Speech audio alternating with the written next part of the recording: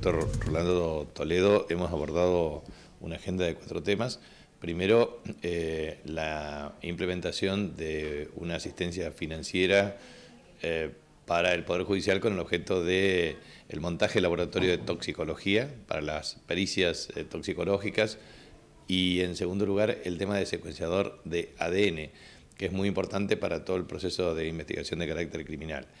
Eh, también para la puesta en marcha de la Cámara Contenciosa Administrativa de Presidencia Roque Peña y eh, una estrategia de financiamiento para eh, la construcción de dos salones de usos múltiples, uno en San Martín y otro en Charata. Y la verdad es que nos queda también pendiente una tercera torre para el Poder Judicial con una estrategia de financiamiento hacia el año 2023. con esto el Poder Judicial de la provincia estaría dotado de equipamiento tecnológico informático y a su vez también eh, del uso de herramientas tecnológicas para eh, investigación de los procesos criminales y por supuesto obviamente una mejor infraestructura edilicia, que son eh, muy buenas noticias para el Poder Judicial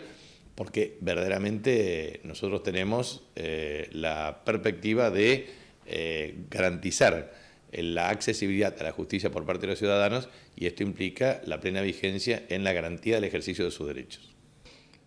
Eh, entre los temas que tratamos están eh, la creación de dos salones de usos múltiples en el interior, eh, con apoyo de los intendentes, el de Charata y el de San Martín, que van a servir no solo para una utilización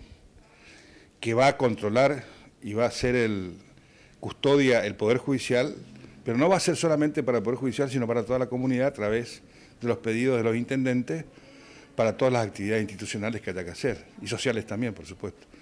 Incluyendo lo que es más importante, los salones para los juicios por jurado, porque ustedes saben que en esas localidades no hay un lugar de convenciones, ni hay salones importantes como para que el juicio por jurado se pueda desarrollar de la mejor manera. También hablamos de la, de la adquisición de un cromógrafo, que es un eh, es un instrumento para determinar la clase de droga, si es droga y qué clase de droga es y qué pureza tiene para el narcomenudeo, porque sin eso no podemos trabajar en la parte que nos toca a nosotros en la provincia. Eh, también tratamos algunas cuestiones que hacen a la parte de la estructura funcional de los recursos humanos.